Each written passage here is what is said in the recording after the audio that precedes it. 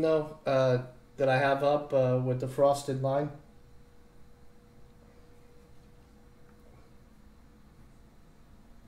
Just give me a thumbs up, Trinity. Yeah. you- Okay. Yeah. Good. All right. So um, this is uh, something my technician ran into yesterday. Uh, it's a Whirlpool refrigerator. the suction line was frozen, and he called somebody, and the guy says, "Oh, put an access valve on there and check the pressures." And uh, one thing I'd like to say is when you have a sealed system problem, yeah, you have to take care of it. But um, the last thing I want to do is access a sealed system until I'm confident the problem is a sealed system problem. Just because it, it looks like something doesn't necessarily mean it is what it is. Now, one thing is, is there's a couple things in this picture that, you know, you could tell a lot of information just by looking at this picture. Uh, what do you guys see inside this picture? You know, not just the ice, but what can you tell me about this system? Anything important?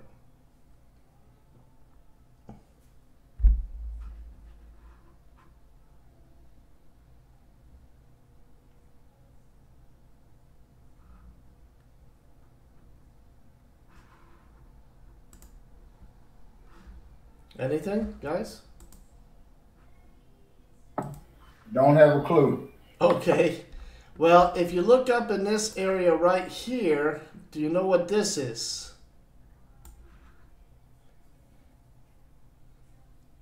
That is that is a two-way valve or a, a step valve depending on the manufacturer.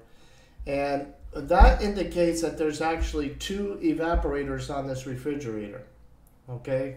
Um, it comes off of the dryer filter and it has one line coming in and it has two capillary tubes coming out. The other thing that you can notice if you look here is that this is the evaporator suction line going back to the compressor and you can see it frosted up. But if you look closely, there's another line over here. There's two suction lines joining to one right there. And that's because, again, we have dual evaporator. So by looking at the picture, you know, you got to be able to identify these things when you look at it. These are things that you're looking for. Now, if you notice, there is frost on this line, but this line here has a little bit of frost, but there's no frost at the bottom there. Um, so, what what is an indication of frost on a suction line? What what does that mean is wrong with the system? Anybody know? Refrigerant. Yeah, uh, too much, too little. Um, what do you think? Too much. is uh, either overcharged or we got an evaporator fan not working. Very good. An overcharge would cause a a frost back to the compressor. That means the refrigerant's not evaporating. I, I, I tell people when you look at the line, when you see frost, that's freon that's turning from a liquid to a vapor. But in a refrigerant system, that's supposed to happen in the evaporator. By the time it comes to the suction line, it should have been 100% vapor. And when it's 100% vapor, it does not produce frost. so, an, an indication would be hey, uh, we have, you know, an overcharged system here. But if you look at the compressor, does that look like factory braze joints to you? Or does that look like someone did a compressor job?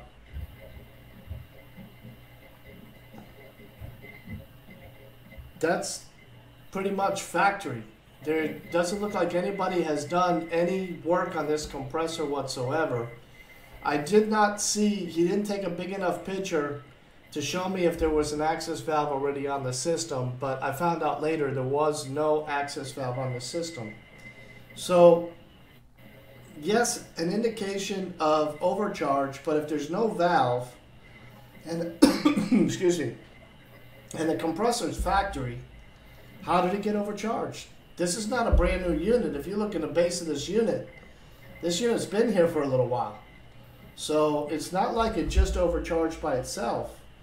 So again, this is all the information I originally got from the technician, and he just sent me the picture, and it took like five or ten minutes to get a hold of him on the phone to find out what's going on.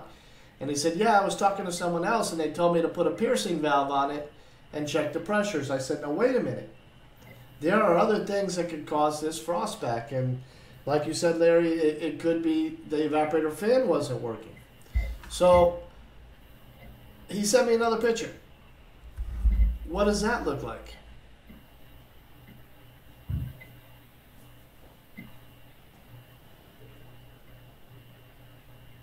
Anybody anybody know?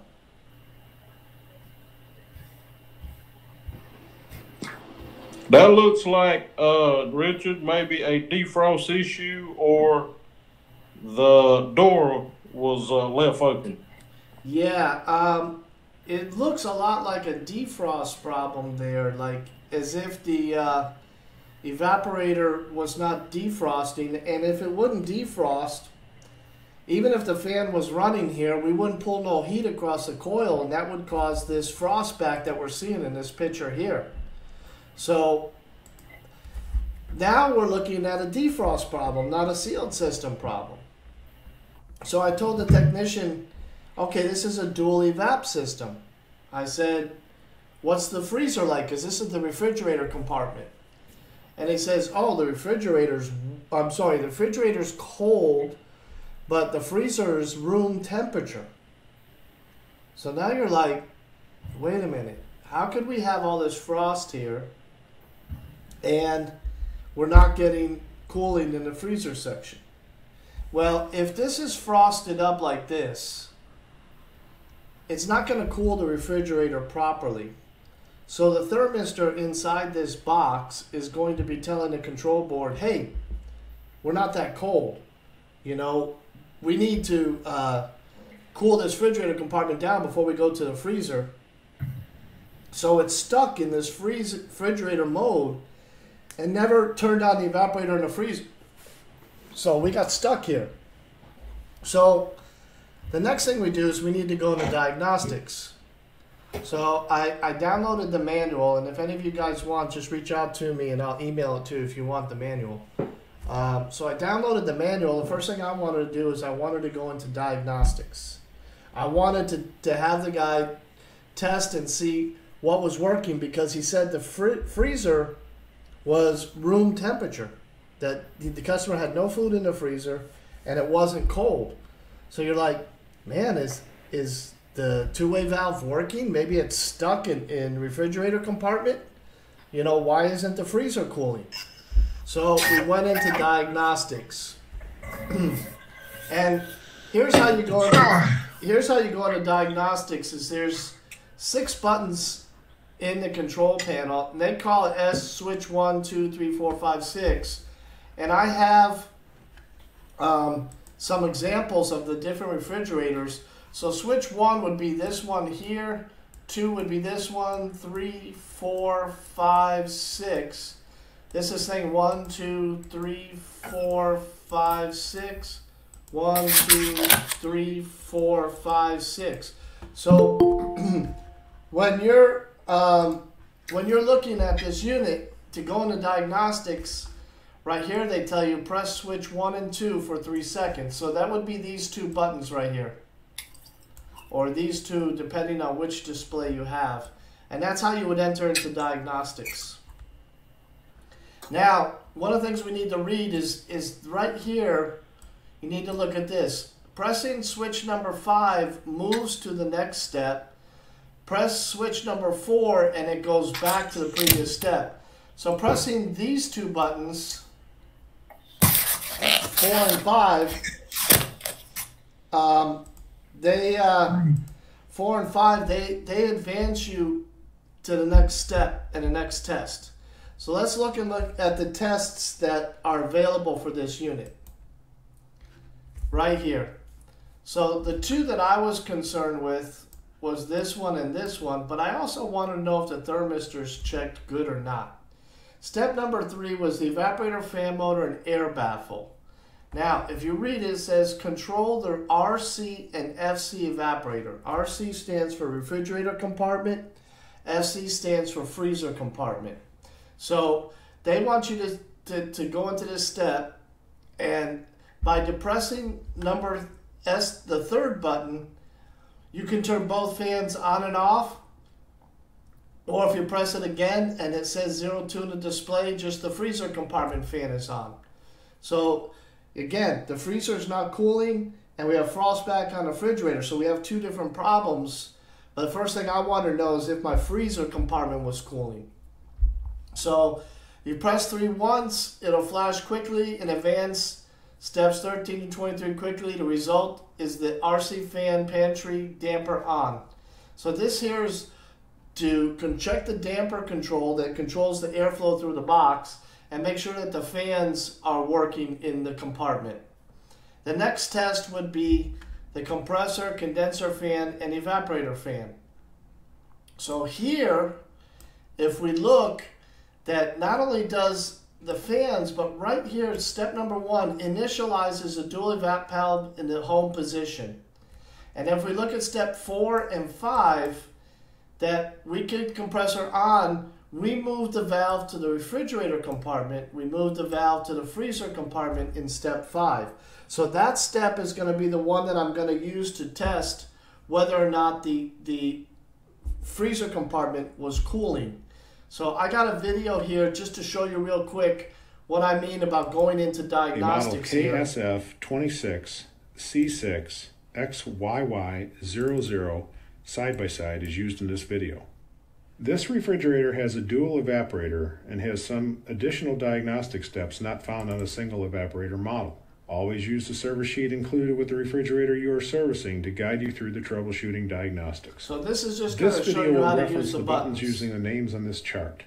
The buttons are labeled from left to right.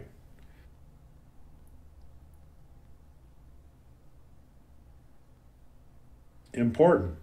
Unit must not be in lockdown prior to entering the service diagnostic mode. To enter Service Diagnostics mode, press SW1 and SW2 simultaneously for 3 seconds. Release both buttons when you hear the chime indicator. The display will show 01 to indicate that the control is in step 1 of the diagnostics routine. To exit the Service Diagnostics mode at any time, do one of the following three options. Press SW1 and SW2 simultaneously for 3 seconds. Disconnect the product from power. Allow 20 minutes to pass. Following the end of the diagnostic mode, the controls will then resume normal operation. Each step must be manually advanced. Press SW5 to move to the next step in the sequence. I'm trying to figure out how to advance the video, but it's not giving me the advanced uh, feature. Press SW4 to back up in the sequence to the previous step. Each step is displayed in two digits of the dispenser using interface display. Important on the additional steps. Okay. Step 1 an air baffle motor. Verify airflow from the evaporator fan. Check to see if the baffle opens and closes.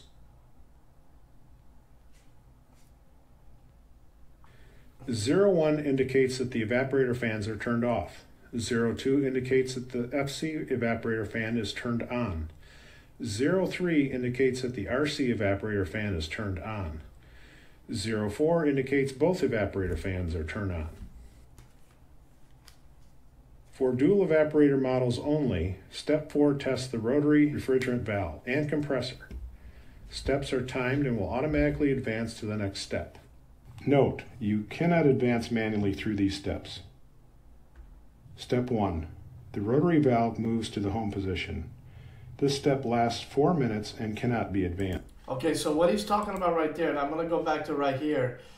Step number one initializes the evaporator valve in a home position. So you have to actually be patient and wait six minutes, which is four minutes for step one, one minute for step one, uh, step two, and one minute for step three before you can actually check that, that the valve is actually sending freon to the refrigerator compartment and then the valve goes to the freezer compartment. My technician was being a little impatient. He's like, man, it's, it's not doing anything, you know? Uh, I said, you have to wait actually six minutes before you can go through those other steps You cannot advance that on your own.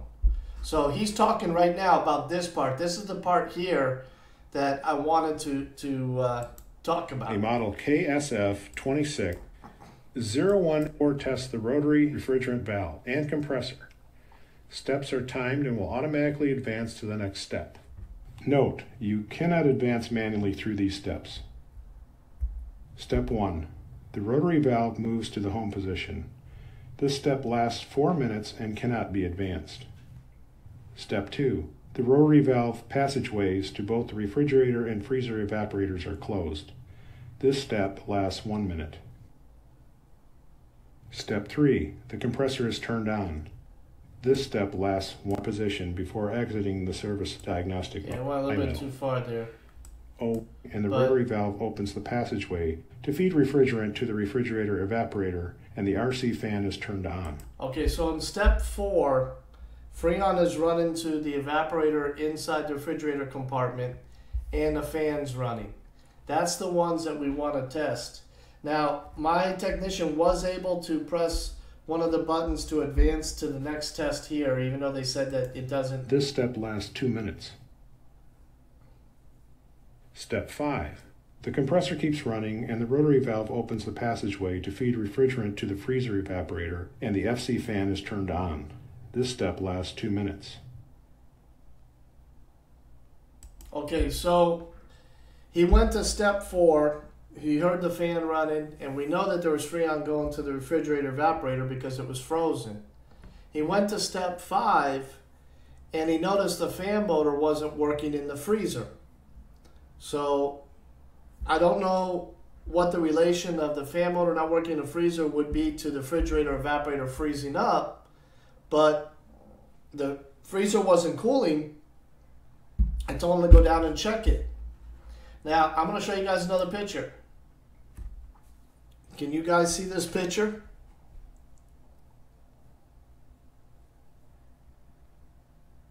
Yeah, Uh, what, what, Yeah. what, what happened there? it's unplugged. Yeah, so so this is what happened. The, the techni- this is the freezer evaporator, and a technician went through that one diagnostic test and saw that the fan motor wasn't working, and apparently someone went in prior to him and disconnected the uh, quick disconnect in the freezer. So going back to it, why was the refrigerator compartment frosted up? You know, that that was we had two different problems here. We had a refrigerator compartment frosted and we had a no cool in the freezer. Well, by having this disconnected, we're disconnecting not only fan motors and defrost components in the freezer, but we're all dis- also disconnecting thermistors and controls. I think these two wires right here, these white wires, right? Uh, let me get the marker here. These white wires right here are your thermistor wires, and the board can't see them. So it has no clue what's going on. So if we go back to this unit, and we had all this frost and we had this ice here, once this thing frosted up, it couldn't see what was going on. Now, he didn't tell me whether or not this is one thing that I needed to, to know from him was step one and step two in this unit. Step one and step two are the thermistors. And step one was the FC thermistor. With that plug unplugged, what do you think I would get as, an, as a code?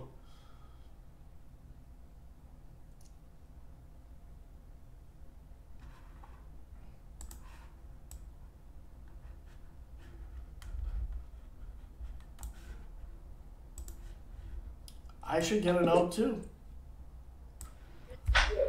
In, in, in that quick disconnect, he should have had an O2 reading. If you guys can't see it, I can make it bigger. Give me a second here.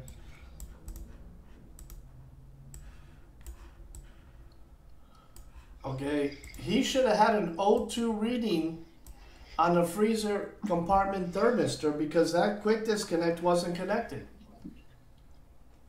So I don't know why the refrigerator didn't show him that, or he just didn't tell me because I was talking to him over the phone and I said, do this test, do that test.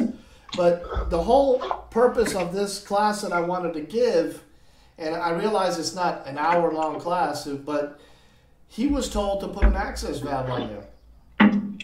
When the access valve wasn't the problem. The access valve was, you know, just going to create more problems. We didn't have a sealed system problem. We had a, a cooling issue in the freezer, and we had a cooling issue in the refrigerator. But when the things are disconnected, the control board doesn't know what to do. And so it never went to the freezer compartment. There was no frost on the evaporator in the freezer whatsoever. The fan never ran. So the valve stuck in one position. And I don't know what caused it. So basically, he reconnected the quick disconnect and he had to defrost the evaporator and the refrigerator so the refrigerator will cool again. But, you know, don't always go into a system and say, oh, look at that frost. I'm going to go ahead and access the, the sealed system. That was the most important part of this class and I wanted to teach was that you need to check everything. You need to check defrost. You need to check fans. You need to check gaskets. You need to check the whole working components of all everything that you can. And once you've ruled out whether they're working or not working, then you would go into the sealed system to troubleshoot the sealed system. Um, going into diagnostics, that uh, immediately told us we had a problem in the freezer. Now, I don't know if we had a problem in the, in the refrigerator compartment causing the frost buildup, but until he fixed the freezer from working and, and it working properly, after he connected that quick disconnect, he went back into test four and he went ahead and he energized the uh, the uh, the valve into into position five where the freezer compartment had freon and the fan was working. So now it started cooling. So we know that the step valve is good. We know the fan motors were good. The only thing now is he had to let it run for a while before both compartments cooled down. Does anybody have any questions about this?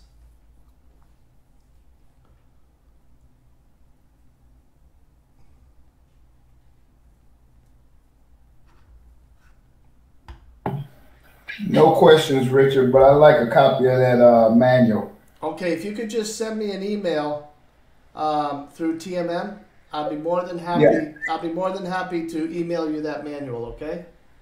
Okay, thank you. But uh, I know it was a short lesson today. It was only half an hour. But Brandon and I have a couple things planned for this week and next week that we're going to put up a few more videos to make up for the holiday weekend.